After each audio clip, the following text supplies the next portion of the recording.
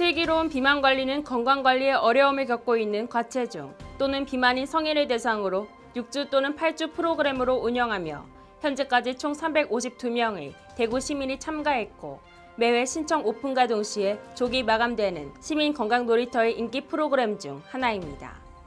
먼저 대상자의 신체 계측과 건강 행태 설문지를 통해 기초 건강 정도의 사전 평가 후 분야별 전문가와 1대1 매칭하여 주차별 건강관리 미션 인증, 건강 상담,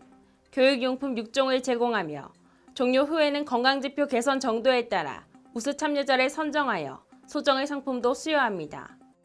또한 2020년부터 현재까지 이수자를 대상으로 실시한 사업효과 분석 결과 체중, 허리 둘레, 체질량 지수의 평균값이 참여 전보다 모두 감소했고 허리 둘레 및 체질량 지수를 기준으로 정상인 경우가 참여 전보다 참여 후에 증가했으며 비만 전 단계, 비만은 감소하여 프로그램이 비만 관리에 효과가 있는 것으로 나타났습니다.